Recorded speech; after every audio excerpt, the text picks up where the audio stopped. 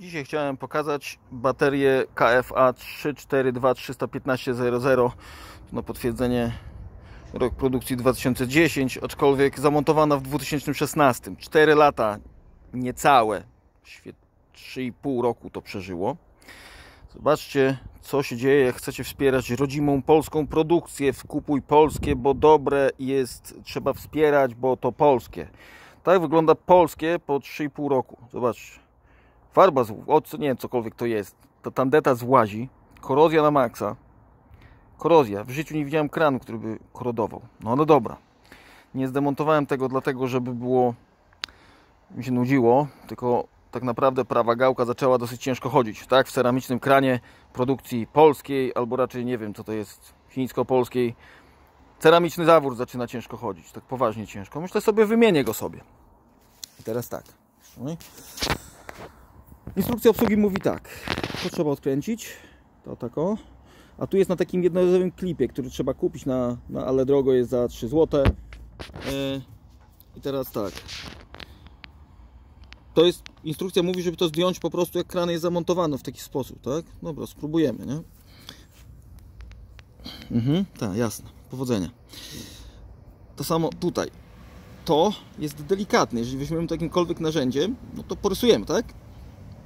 Ale ręcznie nie ma opcji. Jeden już kran, tak jeden już kran taki miałem. Ale specjalnie chciałem pokazać, dlaczego nie warto kupować tragedii z KFA.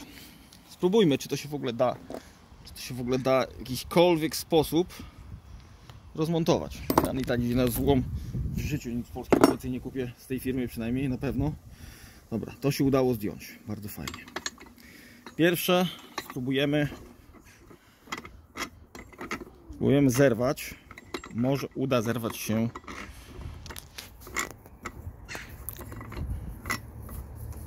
uchwyt.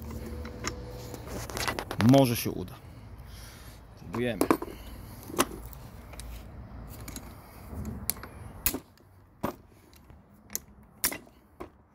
Widzicie? Bardzo lekko wychodzi. Polecam. KFA. Bardzo lekko. Młotkiem. Tak? O! Super! To jest bardzo dobrej jakości polski produkt. Zobaczcie. Ułamuje się razem z rączką, która właściwie trochę tu zardzewiała i odpadła.